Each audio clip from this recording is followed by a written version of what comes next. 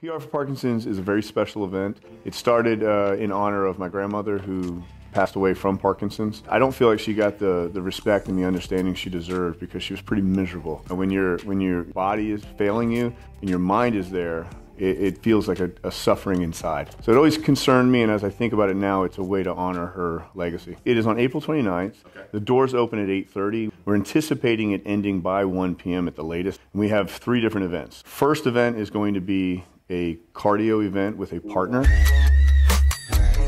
The Echo Bike, wall ball, burpees. Going to give them an opportunity to bust out, go as hard as they can because they also have a partner. One person will always be resting and recovering while the other is just giving it all they have.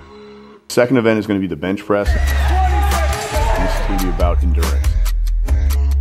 So the goal here is for males 75% of their body weight, females 50% of their body weight, and your goal is to get as many reps as possible in 60 seconds. And then the final one, the deadlift. And this is going to be incremental weight, and the goal is can I go up there, can I pick it up, can I lock out, and can I set it down? It's not just about ego lifting, it's just not just about monsters. So this is about celebrating your ability to move, not just how much of a badass you are.